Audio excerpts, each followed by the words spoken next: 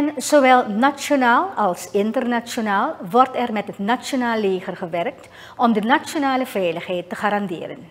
Dit presenteerde kolonel Werner QSN tijdens de onlangs gehouden persconferentie van het ministerie van Defensie. Hij liet enkele projecten zien die als gevolg van de internationale samenwerking worden uitgevoerd of in de planning liggen om te verwezenlijken. Voorts hebben we ook nog de Guyana Shield Strategic Dialogue gehad in Georgetown. Dat was de derde editie. En een van de markante besluiten van uh, deze conferentie was dat wij alle operaties gaan synchroniseren op ons Guyana Schild. Heel binnenkort gaan wij een internationale maritieme operatie hebben. En wij hebben vanuit uh, onze verantwoordelijkheid alvast ons huiswerk gemaakt door eerst onze lokale maritieme partners bijeen te roepen.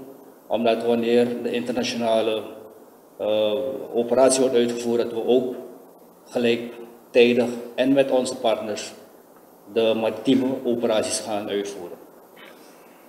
En zo zijn er een aantal uh, bezoeken afgelegd. En in het bijzonder hebben we ook, daar sluit ik dan mee af, hebben we een gezamenlijke oefening tussen de militaire muziek van Nederland en Suriname tussen 30 juni en 4 juli.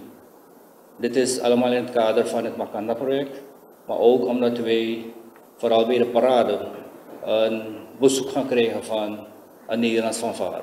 Vanaf januari zijn er landelijk al 14 operaties uitgevoerd, waarvan enkele nog steeds gaande zijn. Hieronder vallen de Zero Tolerance en de Sparimaka-operaties.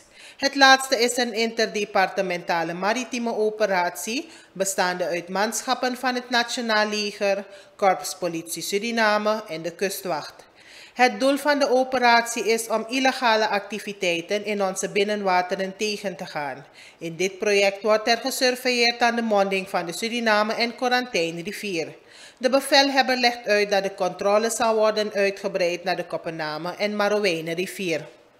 En vanaf 27 mei tot nu toe hebben we 61 vaartuigen uh, mogen inspecteren samen met de andere veiligheidsautoriteiten. En welke vaartuigen hebben we geïnspecteerd? Niet alleen vissersvaartuigen, maar ook zeilschepen. Allerhande vaartuigen zijn gecontroleerd. En zodoende hebben we 35 illegale uh, mogen staande houden. Die zijn natuurlijk uh, aangehouden door de politie. Verder hebben we ook nog één Braziliaanse schoener mogen uh, staande houden of aanhouden die smokkelwaar aan boord had.